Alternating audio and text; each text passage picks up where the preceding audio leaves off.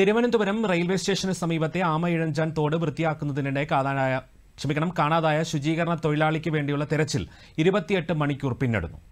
തിരച്ചിലിനിടെ robotic ക്യാമറയിൽ പതിഞ്ഞത് ശരീരഭാഗമല്ലെന്ന് എൻ ഡി ആർ എഫ് സ്ഥിരീകരിച്ചു.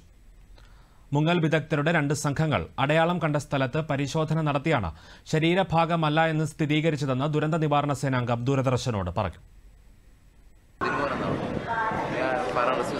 സ്പെഷ്യൽ ടാസ്ക് ഫോഴ്സ് ടീമാണ്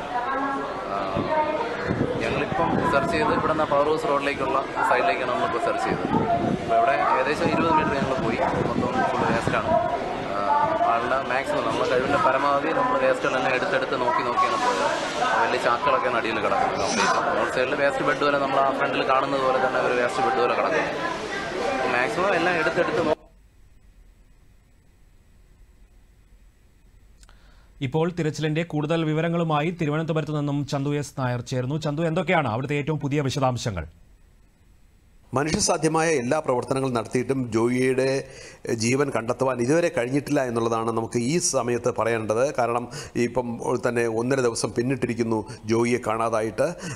ആമേഴഞ്ചാൻ തോട്ടിലെ എതിരെയുള്ള ആ തുരങ്കത്തിലേക്ക് സ്കൂബ ഡൈവർമാരും അതോടൊപ്പം തന്നെ എൻ ഡി ആർ എഫിന്റെയും സംഘം പലതവണ നടത്തിയ പരിശോധനയിലും ജീവന്റെ തുടിപ്പ് ഇതുവരെ കണ്ടെത്താൻ കഴിഞ്ഞിട്ടില്ല. എങ്കിലും ദൗത്യം ഇതുവരെ ഉപേക്ഷിച്ചിട്ടില്ല. പ്രതീക്ഷയിൽ തന്നെയാണ്. അതുകൊണ്ട് തന്നെ കൂടുതൽ പരിശോധനകളും തിരച്ചിലും നടത്തുവാനുള്ള ശ്രമത്തിൽ തന്നെയാണ് എൻ ഡി ആർ എഫും അതോടൊപ്പം തന്നെ സ്കൂബ ഡൈവിംഗ് സംഘവും. എന്നാൽ ഏറ്റവും ഒടുവിലായി നമുക്ക് പറയേണ്ടത് നാവികസേനയുടെ ഒരു ഒരു പ്രത്യേക സംഘം അല്പസമയത്തിനകം ഇവിടെ എത്തിച്ചേരുമെന്നാണ്. കാരണം നേരത്തെ റോബോട്ടിക് പരിശോധനയിൽ നടത്തിയ ഇതിൽ സ്ക്രീനിൽ കണ്ടത് ഒരു മാലിന്യ കൂമ്പാരം ആയിരുന്നു എന്നുള്ളതാണ് ഇപ്പോൾ പറയുന്നത്. കാരണം ഈ മനുഷ്യ ശരീരത്തിന് സമാനമായ രൂപം കണ്ട സ്ഥലത്തേക്ക് സ്കൂബ ഡൈവർമാർ അഞ്ചു പേർ അവിടേക്ക് ഇറങ്ങുകയും അവർ അതിന്റെ പരിസരം എല്ലാം പരിശോധിക്കുകയും എന്നാൽ ഇതിന് സമാനമായ ഒരു ഭാഗവും കണ്ടെത്താൻ കഴിഞ്ഞില്ല എന്നാണ് അവർ പിന്നീട് അറിയിച്ചത്. എട്ട് മീറ്റർ അകലെയാണ് ഇത് കണ്ടതെങ്കിലും പതിനഞ്ച് മീറ്ററോളം വലത്തോട്ടും ഏഴ് മീറ്ററോളം ഇടത്തോട്ടും അവർ പോയി പരിശോധിക്കുകയുണ്ടായി. പക്ഷേ അവിടെ ഒന്നും കാണാൻ എന്തെങ്കിലും ഭാഗങ്ങൾ കണ്ടെത്താനോ ഒന്നും കഴിഞ്ഞിട്ടില്ല. അതുകൊണ്ട് തന്നെ സ്ക്രീനിൽ കണ്ടത് തെറ്റാണെന്നുള്ള ഒരു നിഗമനത്തിലാണ്. പക്ഷേ സ്ക്രീൻ അവർ പറയുന്നത് ഒരു പക്ഷേ അത് മനുഷ്യ ശരീരമാകാനുള്ള സാധ്യതയുണ്ട്. ഒരു ഒഴുക്കിൽ അത് വീണ്ടും മുന്നോട്ട് പോകാനുള്ള സാധ്യതകളും കാണുന്നുണ്ട്.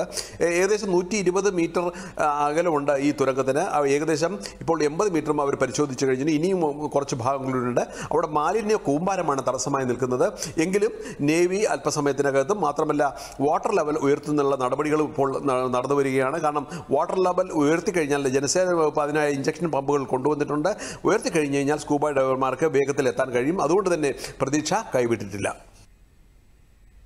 തിരുവനന്തപുരത്ത് നിന്നും ചന്തു നായരാണ് വിശദാംശങ്ങൾ നൽകിയത്.